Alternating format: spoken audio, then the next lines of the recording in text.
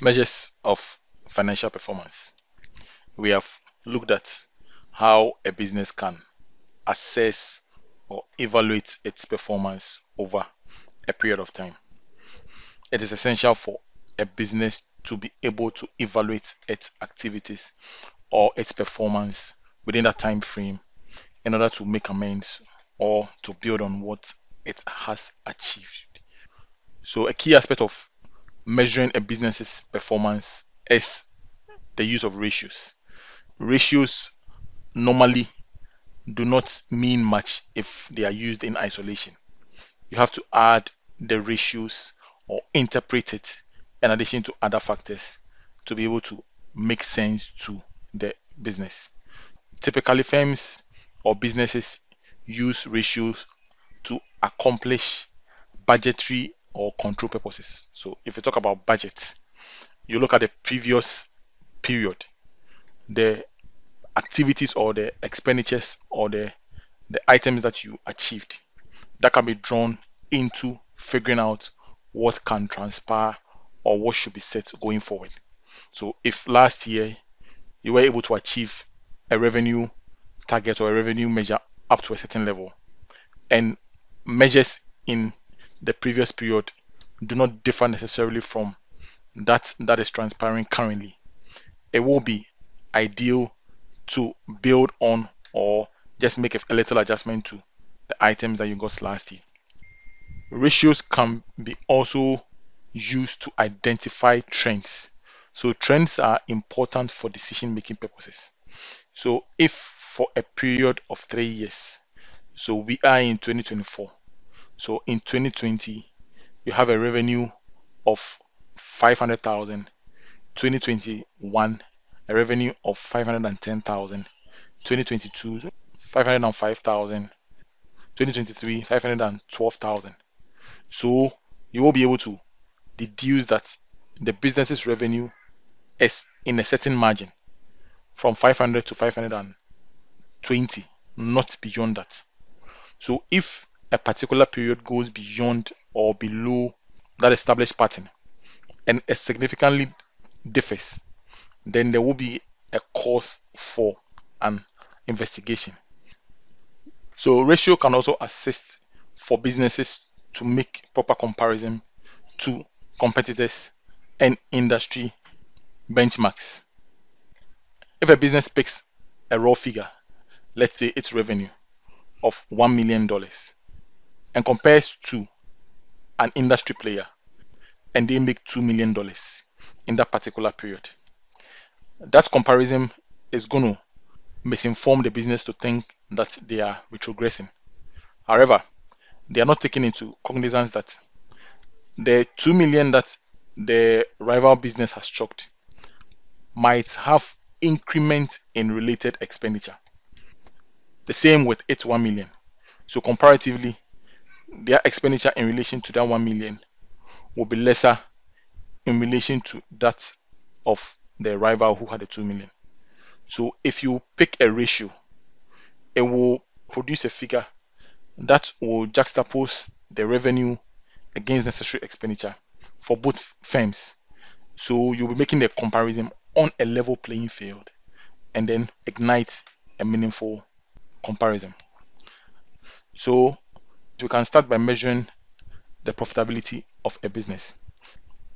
So here we are going to assess the business's potential of having its revenue exceeding its various expenditures. There are classes of expenditures that a business will incur. So we'll have the production cost, we can have operational cost, and we can have other expenditures. So we'll start with the gross profit margin. Now the gross profit margin seeks to analyze the business's capacity in having revenue more than its direct expenditure or production costs. So production costs relate to manufacturing businesses. For service driven businesses, you can have operational costs.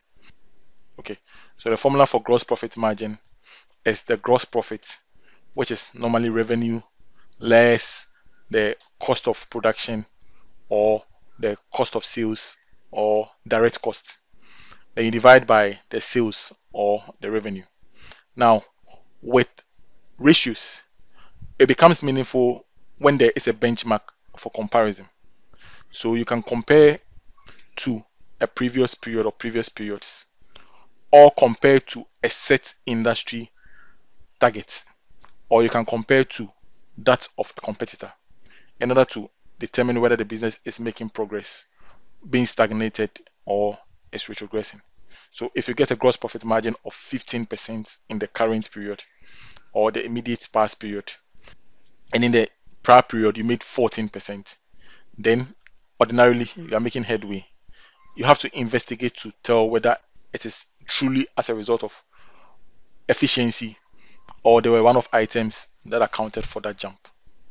So some of the areas that can help you explain why that margin was received can be in the area of sales. So you get a gross profit margin of 15% this year. And in the previous year, you got, let's say, 17%. There is a 2% regression. So if you want to explain, you can look at the sales. Probably you did less sales in the current period due to maybe economic downturn than the previous year. If the expenditure remains constant or it does not drop in the percentage of the of that of the sales, your gross profit is going to come down. If the reverse is the reality, where your gross profit margin for the current year is more than that of the previous year, it could be that in the current year there were increases in selling price which will lead to increment in sales value. Now, if that increment in the selling prices does not match a commensurate increment in the production cost, the knockoff is that the gross profit margin is going to go high. The other area that you can look into is the production cost of sales. If this year's sales was 10% more than that of the previous year, but the production cost was 15% higher than that of the previous year, the gross profit margin is going to reduce. The next margin we'll be talking about is the operating profit margin. Now the formula is operating profit, otherwise known as profit before interest and tax, divided by sales or revenue. Now apart from production cost, there are other expenditures that the business incurs in its operating journey. So after you get the gross profit, you need to identify whether it was able to capture or it was able to fairly consume the other expenditures. So there's no need having a higher gross profits, but the other expenditures run it into a loss. So the other cost you can have administrative expenditures. So the salary to the office staff, the accountant, the HR, the office cleaner. So you had a, an operating profit margin and you match it with that of a previous period or against an industry benchmark or that of a competitor and you have a lower one. So let's say the current period operating profit margin is 10%. That of last year was 12%. You will definitely want to find out what accounted for the differences. So one of the areas that you can go into is to look at operating profit. So operating profit is basically your gross profit, which is the revenue less the direct expenditures or the cost of production.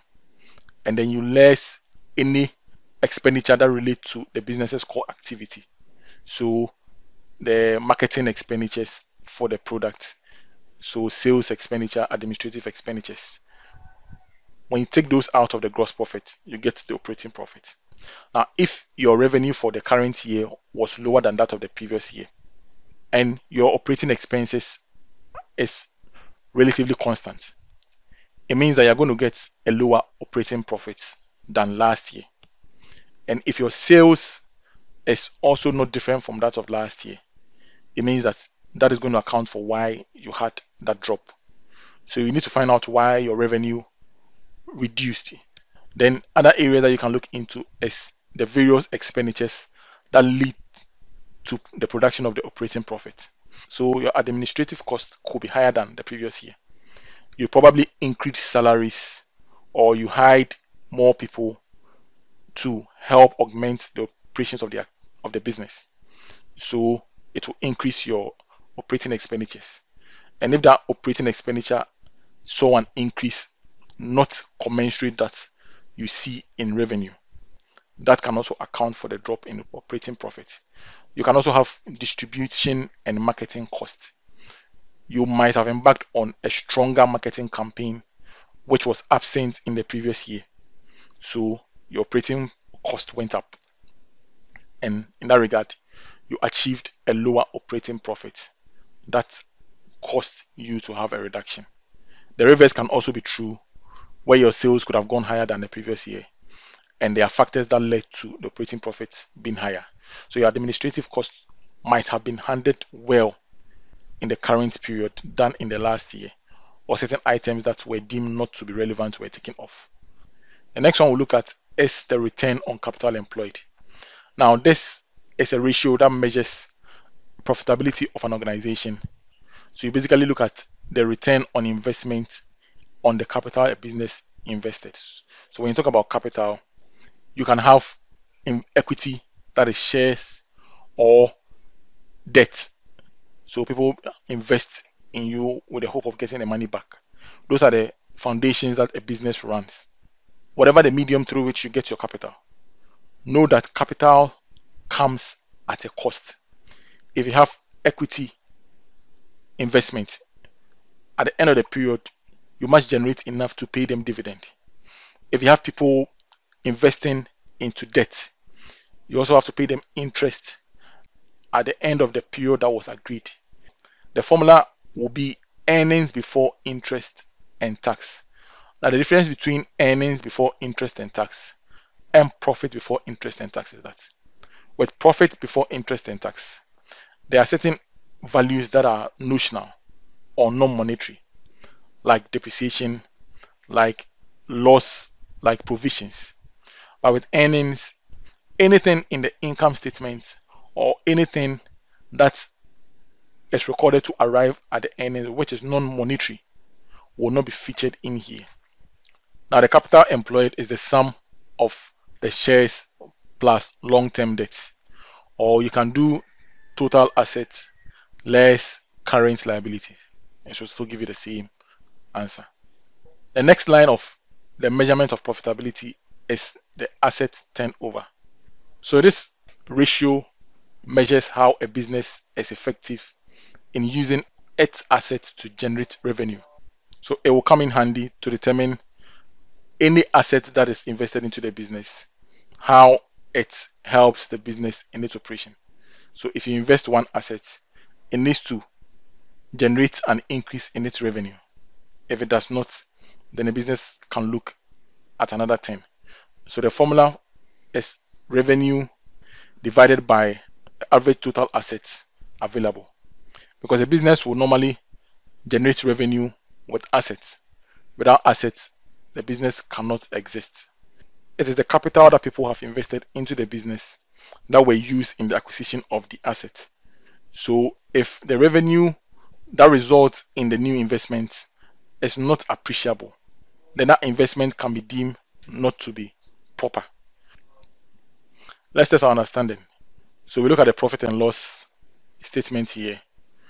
We have sales, cost of goods sold, which will give you the gross profit, salaries, utilities, depreciation, giving you operating profit or profit before interest and tax. You have interest expense, income tax, and the net profit.